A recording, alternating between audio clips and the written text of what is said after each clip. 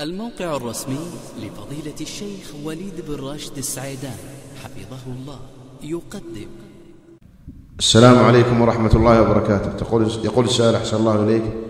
إن أذان العصر أو تقول السائلة. تقول السائلة إنه يؤذن العصر عندهم قرابة الساعة الثانية وأربع وخمسون دقيقة. تقول وهي لا تصلي إلا الساعة الرابعة أو الرابعة والنصف. علما أن المغرب يؤذن الساعة الخامسة والربع. فهل في ذلك فهل عليها حرج في ذلك؟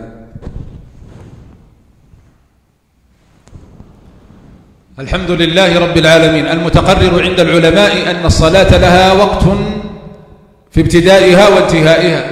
فلا يجوز للإنسان أن يصلي قبل الوقت ولا يجوز أن يخرج الصلاة إلى ما بعد وقتها. يقول الله عز وجل إن الصلاة كانت على المؤمنين كتابا موقوتا. وقد قرر العلماء أن وقت العصر ينقسم إلى قسمين إلى وقت اختيار وإلى وقت اضطرار فأما وقت الاختيار فيبدأ من مصير ظل كل شيء مثله ويستمر وقت الاختيار إلى اصفرار الشمس. لما في صحيح مسلم من حديث عبد الله بن عمرو بن العاص قال ووقت العصر ما لم تصفر الشمس.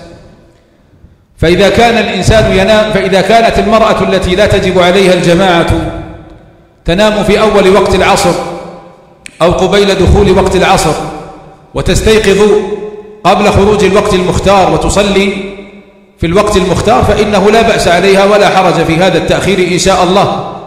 وأما إذا كان تأخيرها أو نومها سيفضي بها إلى إخراج الوقت عن اصفرار الشمس أو إلى مصير ظل كل شيء مثليه فإنه يحرم عليها ذلك ولا يجوز لها أن تتعمده ولا ينبغي لها أن تنام إلا بعد أن تصلي العصر. فعليها أن تحتسب أجر الاستيقاظ قليلا والصبر على الرغبة في النوم حتى يؤذن العصر ثم تصلي ثم تنام إلى, إلى, إلى, إلى وقت المغرب. فإذا كان نومها يفضي بها إلى إخراج صلاة العصر عن الوقت المختار باصفرار الشمس فلا يجوز لها فعل ذلك. وعليها أن تتقي الله فتصلي العصر في وقتها وأما إذا, كان وأما إذا كانت ستستيقظ أو ستضبط ساعتها على الاستيقاظ قبل اصفرار الشمس بوقت يمكنها أن تتوضأ وتصلي قبل اصفرار الشمس وخروج الوقت المختار فإنه لا بأس عليها في تأخير الصلاة عن أول وقتها لأنها, وقت. لأنها واجب موسع ويجوز فعل الواجب الموسع في أي أجزاء وقته والله أعلم